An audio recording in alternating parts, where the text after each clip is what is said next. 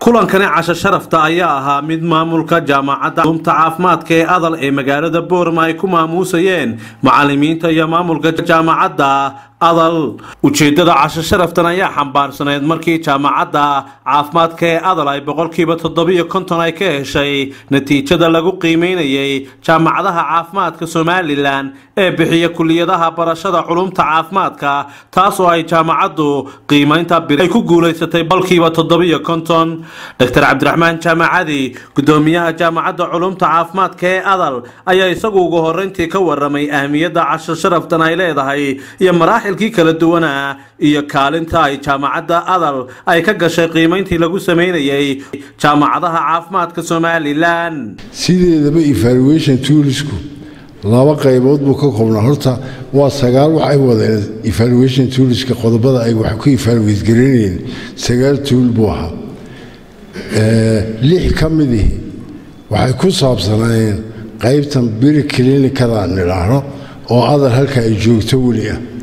Biri clinikadaasi haddii ay sigisti ahayd waxay adal maanta ka keentay seven waxaa u hadhan qaybtii clinikada oo sanadka bacdigeed ay ardaydu gaari doonto runtii sanad gudaheed ay ku gaari doonaan baan ka wadaa moogtahay runtii marka markaa lagu daro klinikada iyo beri klinik waxay ka keeneen waxay isku noqon kartaa inay hadhow tooliye.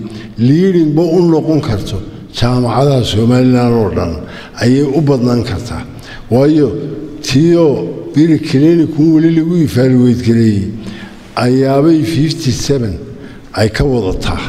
Aanay noo hadhan tahay dambe oo ku saabsan qaybta klinikada marka ardayda ay klinikada gaadhaan ee isbitaallada ay tegaan isbitaalkii waa diyaar iminka waxaa halkan boorama jooga saddex dhakhtar oo takhasusiyo gaara kuleh iyakuna oo ah dhakhtarkii carruurta bediatrician ah mid interniisa iyo nin serjan ah general serjan ah. Saddexdaasiyo maanta boorama ayay nala joogaan inta yaree shaqaala la kala habaynayo unba isbitaalkana ka hadhana waa la furi doonaa marka maadaama beri klinikadii meel fiican oon liidingba u ahayn jaamacadaha brofesorskii ka dhigiyey adal medical university. In mahadcelin aan u jeediyo ayay ujeeddada u weynay aan halkan maanta iskugu nabadnay ayay ahayd wixii intaasi ka dambeeyey waxaa halkaasi ka hadlay mas'uuliyiin ka tirsan jaamacadda adal. Macalimiin dhammaantoodba waxay ka mahadnaqeen dadaalkii kala duwanaa ee ay jaamacadda adal ay muujisay muddadii ay jirtay. Waxaan rajaynayaa in ay ka sii wanaagsanaanaan inta u hadhay.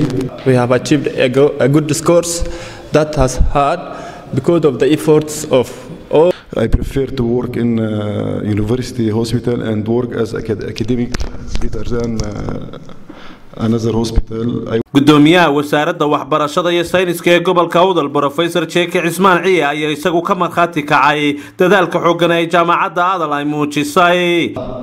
Waxaa kale tusaale u tahay muddada jaamacaddu ay jirtay iyo dee jaamacado sannado badan jiray greedhka ay keentay jaamacadaha qaarkood oo iminka dee baas ku jira inay kaga sarraysaba iyadoo klinikio briklinikio keliya hataa ee sigisi bersentiga ay kaga sarrayso. Laftigeegu waxay noqonaysaa wax guula. Waxaan markaa odhan lahaa uun macallimiinta inay dadaalkaasi iyo maamulka jaamacadduba ay sii wadaan. Sidoo kale iskuduwaha wasaaradda caafimaadka ee gobolka awdal doctor mukhtaar ayaa isaguna hambalyo u diray maamulka jaamacadda waxaana uu ku hambaliyeeyey dadaalka xooggan ee ay muujiyeen iyo kaalinta waxtarka leh ee ay ka geystaan u adeegidda bulshada. Wasaaradda waxbarashada ilaa madaxtooyada waddanka waxaa la isku raacsan yahay jaamacadda maanta inay jaamacad jirta tahay oo aynay sugtay si jirasana siina jiri doonto. Annaga oo runtii mas'uuliyaddeedu ay in caafimaadka la kobciyo waxaan aad ugu farxsannahay inaannu maanta maqalno war aan ku diirsanno oo ah jaamacad kale oo noo soo kordhay oo dad taya leh noo soo saari doonto. Axmed dirya ciltire wararka warbaahinta s b c